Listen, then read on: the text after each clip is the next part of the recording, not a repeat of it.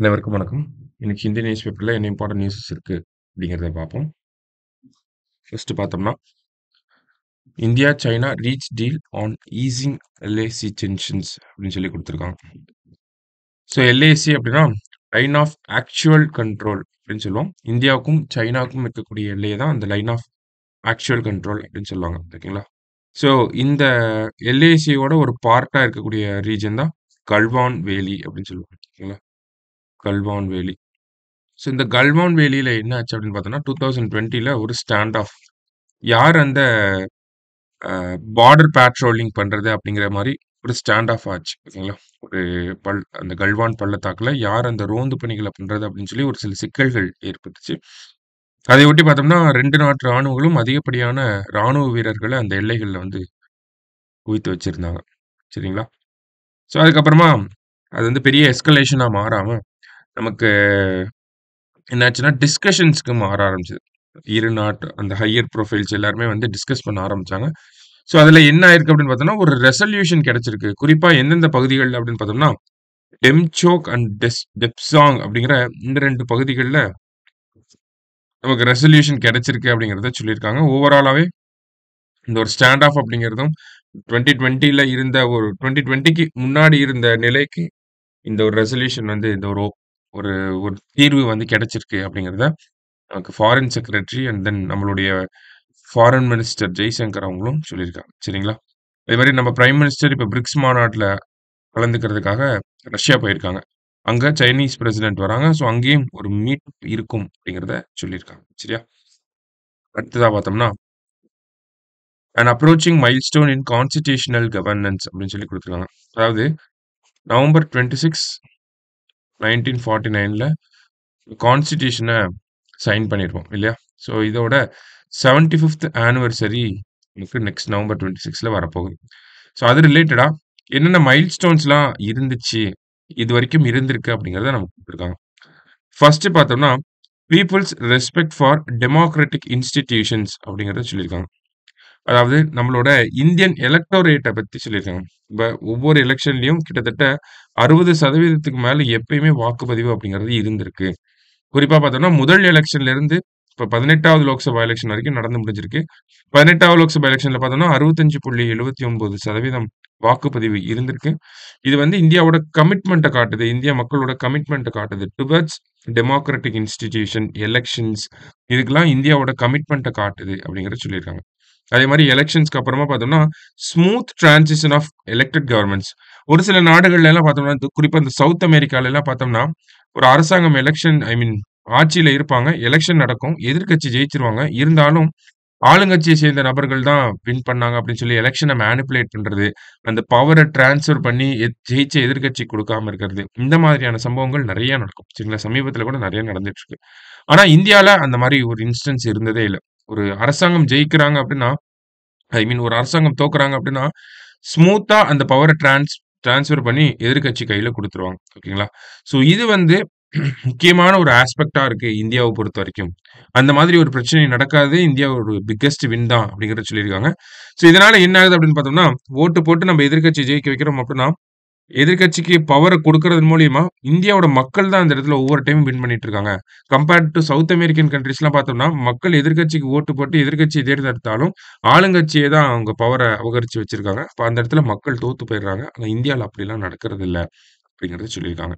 அடுத்த முக்கியமான விஷயமா என்ன சொல்றாங்கன்னா, கான்ஸ்டியூஷன் வந்தாலே ஃபண்டமெண்டல் ரைட்ஸ் சொல்லுவோம் இல்லையா? ஸோ அதே மாதிரி தான் இங்கேயும் வந்து இந்தியாவோட ஃபண்டமெண்டல் ரைட்ஸ் எவ்வளவு டீப்பா இருக்கு. அதை என்ஃபோர்ஸ் பண்றதுக்கு நம்மளோட கோர்ட்டோட ரோல்லாம் எப்படி இருக்கு அப்படிங்கிறத பத்தி சொல்லியிருக்காங்க. அதே மாதிரி ஃபண்டமெண்டல் ரைட்ஸ் அப்படிங்கிறத நம்ம கான்ஸ்டிடியூஷன் மேக்கர்ஸ் இருக்காங்களே அரசியலமைப்பு உருவாக்குன நபர்கள். அவங்களுமே பார்த்தோம்னா, ஃபண்டமெண்டல் ரைட்ஸை வந்து நிறைய கொடுத்துருக்காங்க அவங்க நினைச்சிருந்தாங்கன்னா ஃபண்டமெண்டல் ரைட்ஸ் கம்மியாக கொடுத்து அரசாங்கத்து கையில் அதிகமான உரிமைகளை கொடுத்துருக்க முடியும். ஆனால் ஒரு ஃப்ரீடம் மூமெண்ட்ல இருந்து வந்த அந்த தலைவர்களுக்கு ஒரு அடிப்படை உரிமைகளின் தேவையை பத்தி புரிஞ்சு இருந்துச்சு. அதனால தான் மக்கள் கையில அதிகமான உரிமைகளை வந்து கொடுத்துருக்காங்க அப்படிங்கிறத சொல்லியிருக்காங்க. கடை ஃபோர்த்தா பார்த்தோம்னா, இந்தியாவோட ஃபெடரலிசம் ஓகேங்களா? இந்த கூட்டாட்சி முறையை பத்தி சொல்லியிருக்காங்க. ஓகேங்களா? இந்தியாவோட ஃபெடரலிசம் அப்படிங்கிறது ஒரு முக்கியமான ஆஸ்பெக்ட்டா இருந்துச்சு. கான்ஸ்டியூஷன்லயும் அதை நம்ம சொல்லியிருந்தோம். ஏன்னா, இந்தியா வந்து ஒரு டைவர்சிஃபைடான கண்ட்ரி. ஒரு லிங்குவிஸ்டிக் டைவர்சிட்டி இருக்கு. ப்ளூரலிஸ்ட் சொசைட்டியா நம்ம இருக்கோம்.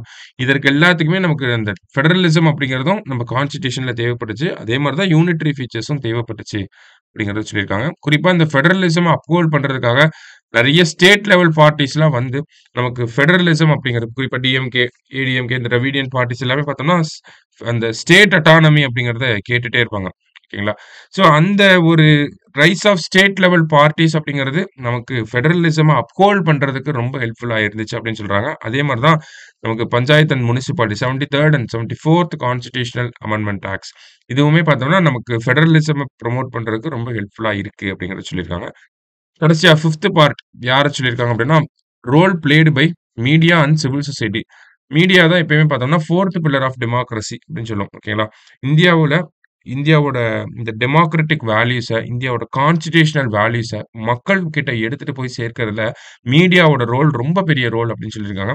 இனிஷியலாக பிரிண்ட் மீடியாவா இருந்தது. இப்போ டெக்னாலஜிக்கல் அட்வான்ஸ்மெண்ட்னால நமக்கு எலக்ட்ரானிக் மீடியா, சோஷியல் மீடியா வளர்க்கி வந்துட்டோம். இந்த எல்லா மீடியாஸுமே ஒரு சில குறைகள் அவங்களுக்கு இருந்தாலுமே, டெமோக்ராட்டிக் வேல்யூஸ், கான்ஸ்டியூஷனல் வேல்யூஸை மக்கள் கிட்ட எடுத்துட்டு போறது இவங்களோட ரோல் ரொம்ப பெரிய ரோல். அதே மாதிரி தான் சிவில் சொசைட்டியோட ரோல்ஸும் அப்படிங்கிறத நமக்கு சொல்லியிருக்காங்க. ஓகேவா? இப்போ பார்த்தோம்னா, நிறைய பேரை வந்து ராங் அப்படின்னு ப்ரூவ் பண்ணியிருக்கோம். நிறைய பேர் வந்து இந்தியா அப்படிங்கிறது பார்த்தோம்னா, ஒரு ஒரு சப்கான்டினென்ட் அப்படிங்கிறது தான் சொல்லுவாங்க. இல்லையா? அதாவது ஒரு நிறைய நாடுகள்ல இருந்து ஒரு நாட உருவாக்கவே முடியாது. இந்தியால தமிழ்நாடுங்கிறது ஒரு தனி நாடா இருக்கும். பஞ்சாப்ங்கிறது ஒரு தனி நாடா இருக்கும். குஜராத்ங்கிறது ஒரு தனி நாடா இருக்கும். இந்த மாதிரி தனி நாடுகள்ல இருந்து ஒரு நாட உருவாக்கவே முடியாது அப்படின்னு சொல்லி பிரிட்டிஷ் அரசு பிரிட்டிஷ் ஆட்கள் நிறைய பேர் சொல்லியிருக்காங்க.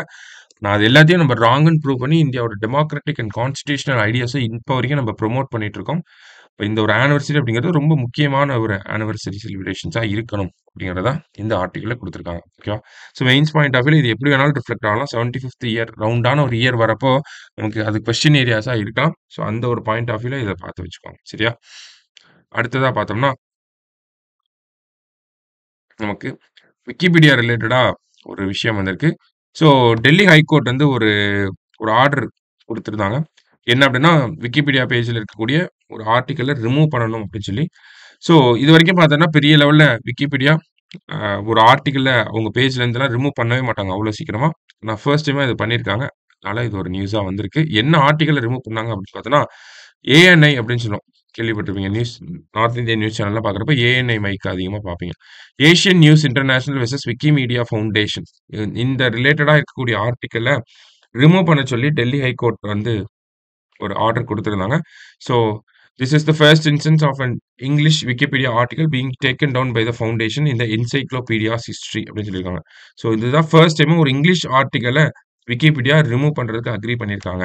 அப்படிங்கிறத உங்களுக்கு சொல்லியிருக்காங்க. சரியா? ஸோ இன்னைக்கு நியூஸ் பேப்பரில் இருந்த முக்கியமான நியூஸ்னால் அந்த 75த் ஆனிவர்சரி ஆஃப் கான்ஸ்டியூஷன் அதை கொஞ்சம் நல்லா பார்த்து வச்சுக்கோங்க. டிஃப்ரெண்ட் பாயிண்ட் ஆஃப் வியூஸில் எப்படி வேணாலும் கொஸ்டின் கேட்கலாம். ஸோ அது கொஞ்சம் நல்லா படித்து வச்சுக்கோங்க. சரியா? Thank you.